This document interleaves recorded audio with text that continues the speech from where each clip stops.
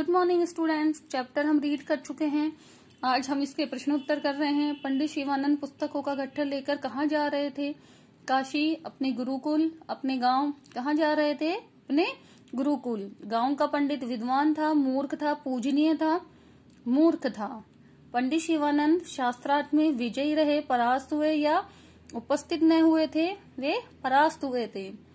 मूर्ख पंडित का प्रश्न क्या था? पांडित्य से परिपूर्ण था, जटिल था, या मूर्खतापूर्ण था? उनका प्रश्न मूर्खतापूर्ण था। ख प्रश्न है हमारा? उपयुक्त शब्द चुनकर रिक्त स्थान भरिए।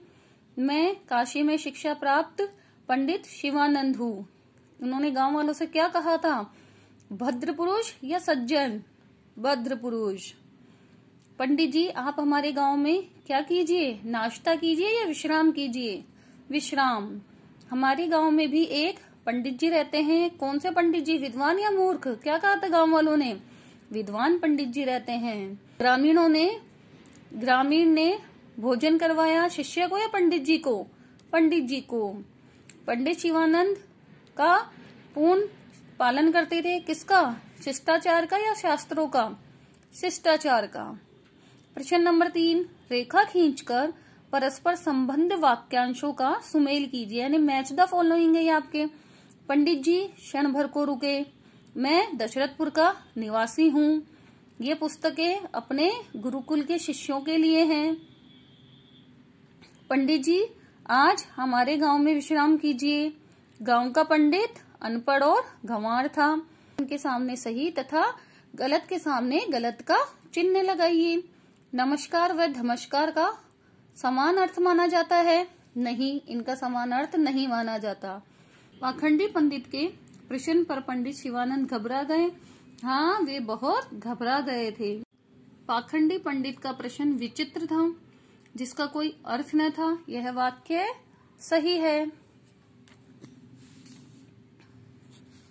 पंडित शिवानंद के मूर्ख पंडित की पोल खोल दी। पंडित शिवानंद ने मूर्ख पंडित की पोल खोल दी थी।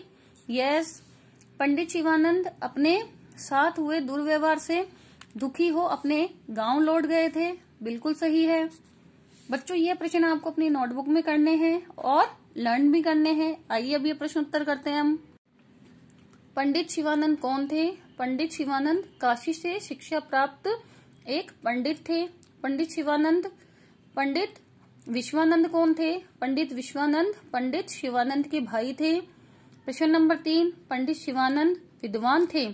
फिर भी मूर्ख पंडित से शास्त्रार्थ में परास्त क्यों हुए क्यों? क्यों हुए थे वे? गाँव में शास्त्रार्थ शुरू हुआ। गाँव वाले पंडित जी ने प्रश्न किया, खी खवैया, चल छवैया? यह बड़ा विचित्र प्रश्न था। इसे सुनकर शिवानंद आचार्य घबरा गए। अर्थात वे मूर्ख पंडित का उत्तर देने में परास्त हो गए थे। उन्हें उसका उत्तर नहीं मिला था।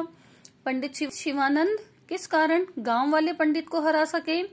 पंडित पंडित शिवानंद जी ने मुस्कुराकर अपने पंडित शिवानंद जी ने मुस्कुराकर उनके गले गलत प्रश्न का सही तरीके से सिद्ध करके उस मूर्ख पंडित की पोल खोल दी। अर्थात पंडित शिवानंद ने गाँव वाले मूर्ख पंडित को हरा दिया। पाखंडी पंडित को क्या दंड मिला? पाखंडी पंडित को दंडित किया गया। उसकी चोटी काटकर उसे सभी से क्षमा मांगनी पड़ी। बच्चों, यह प्रश्न उत्तर आपको अपनी नोटबुक में करने हैं और लर्न भी करने हैं।